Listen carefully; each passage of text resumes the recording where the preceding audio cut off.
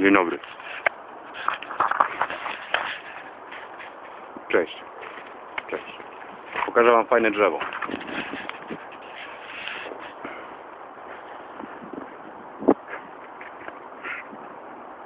To jest moc.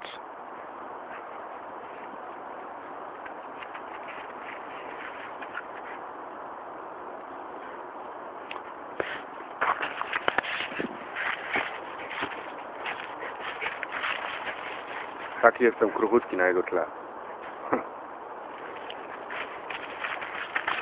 Rewelacja po prostu. Niesamowite. Jak sobie ostatnio myślałem, taki projekt mi przyszedł do głowy. Bo jak tak łażę po tych krzakach, to dużo leży puszek od piwa. Od innych napojów raczej nie, od piwa. No z jednej strony to jest smutne oczywiście, no bo to kurde, wiadomo, no fajnie może sobie iść, kurde w lesie, piwko sobie wypić. No ale jak dało radę je przynieść pełne, no to da radę tą puszkę też wynieść chyba pustą, nie? To lżejsze jest niż pełne.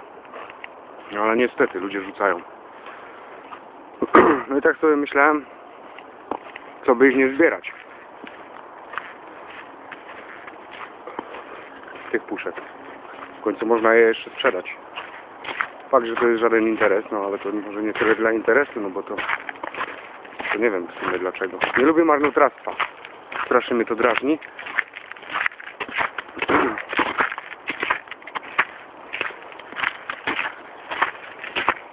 No i nie lubię śmieci w lesie.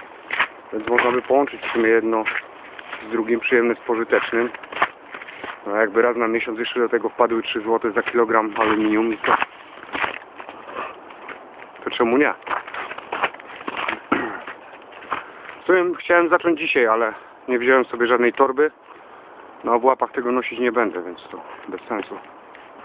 Więc pewnie zacznę inny dzień. Ale tak mi się wydaje, że może być to... Nie wiem, może to jest głupi pomysł. Może nie.